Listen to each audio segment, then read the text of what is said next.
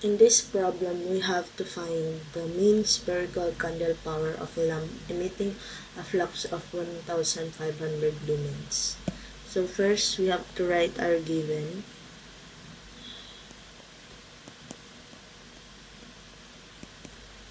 Now we have our 1,500 lumens. Okay. Um, our total output which is represented by phi is 1500 lumens.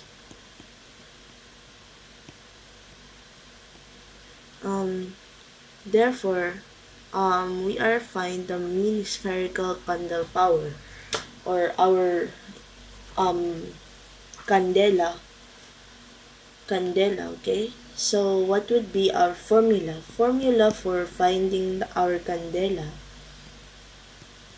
is I is equals to phi all over 4 pi.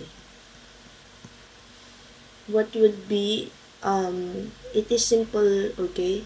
We just have to plug in our no known value. We have I, the phi, which is 1500 lumens, all over 4 pi and then using our calculator we will obtain the value of our I which represents our candle power 119.366 CD or candela or approximately 119.37 candela.